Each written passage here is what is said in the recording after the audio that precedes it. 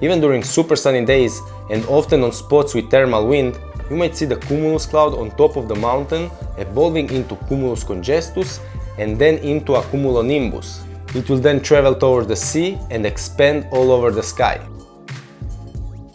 Most often the storm of cumulonimbus lasts from 30 minutes to 2 hours.